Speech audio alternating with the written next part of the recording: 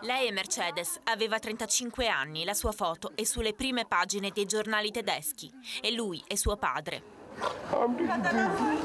Non ce la fa, lascia il quotidiano sulla panchina e prova a parlare della figlia. È venuta qui per mangiare una pizza, bere una coca ed è stata ammazzata. È una tragedia, dice.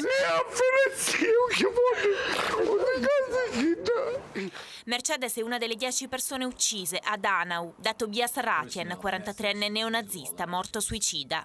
Stando alle ultime ricostruzioni, quando le forze dell'ordine hanno fatto irruzione in casa del killer, oltre alla madre, anche lei morta, c'era il padre, ma nei suoi confronti non è stata formulata alcuna imputazione. Il capo dell'anticrimine federale ha fatto sapere che il killer era affetto da una grave malattia psichica.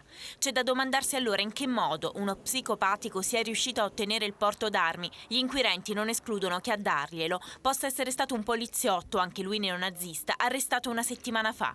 Secondo la Procura federale, inoltre, Ratien lo scorso novembre aveva presentato una denuncia penale contro una sconosciuta organizzazione di agenti segreti capace, diceva il terrorista, di penetrare nei cervelli delle persone e pilotare gli accadimenti globali. Ma poiché nella denuncia non c'erano esternazioni razziste o di estrema destra, è stato deciso di non aprire un'inchiesta.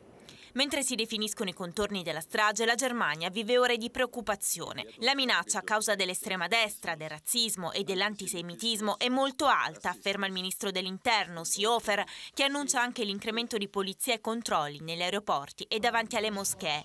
Ai familiari delle vittime la vicinanza del Papa, che in un telegramma di cordoglio firmato dal Cardinal Parolin si dice profondamente colpito dalla violenza che ha causato la morte di innocenti.